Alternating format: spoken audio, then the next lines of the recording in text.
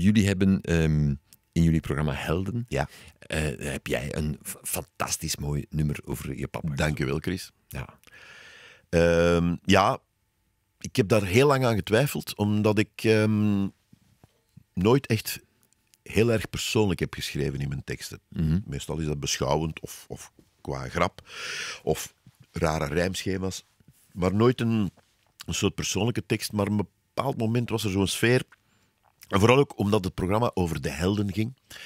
En bij heel jonge kinderen is de vader toch altijd de allereerste held. En dat was bij ons niet anders. Ehm, wij zagen, ook hem, zagen hem ook heel weinig, omdat hij in de weekends altijd ging optreden. In de, werk, in de week werkte hij in de fabriek en s'avonds ging hij optreden. En elke zaterdagavond dat hij geen optreden had, was het voor ons een groot feest. Want dan werd er eh, ja, spelletjes gespeeld en maakten we muziek ook. Hij leerde ons eh, kleine sketches aan. ehm, die we dan af en toe voor de KWB of de KVV eh, gingen spelen. Ze waren alle twee, moeder en vader waren alle twee, alle twee lid van die katholieke verenigingen. En ehm, af en toe moest daar entertainment zijn. En dat was ja, toen, in, in begin jaren 60, was er nog heel weinig tv. Dat was in heel weinig eh, gezinnen was al aanwezig. Met gevolg dat het, eh, het buitenhuis-entertainment toch wel groeide en bloeide. En in die namiddag, in die matinee-feestjes, mochten wij af en toe opdraven om een sketchje te spelen of een liedje te zingen. Dus het werd ons ook weer al met de paplepel ingegeven. Hè.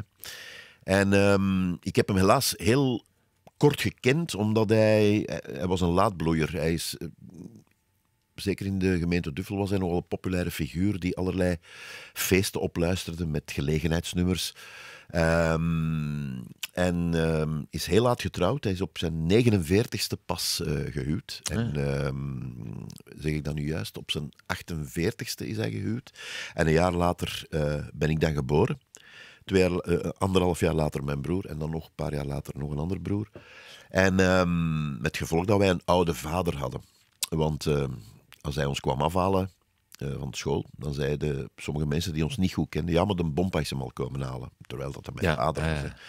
Ehm, hij heeft eh, geleefd tot en met 1965, toen ik zelf 12 jaar was. Daar is hij tijdens een reisje naar Antwerpen is hij neergezakt in het, eh, een hartaderbreuk in Steen in Antwerpen, wat natuurlijk een drama was voor de familie.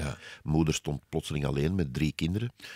Ehm, en heeft toch heel erg veel, eh, hoe zal ik het zeggen, Ehm, eh, eh, erfenis nagelaten in, in, in de vorm van dagboeken.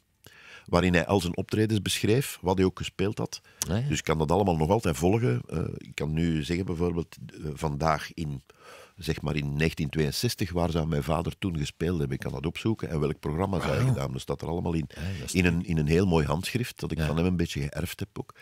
En ehm, dat is toch wel interessant materiaal ook, omdat hij eh, ook altijd sprak over de mensen waarmee hij heeft opgetreden. Hij heeft een paar keer met de Strangers opgetreden, met uh, Bobby aan Schoepen, met, uh, met Charles Janssens. Enfin, de, de, de, de vedette van de, het Antwerps entertainment uit uh, eind jaren 50, begin jaren 60.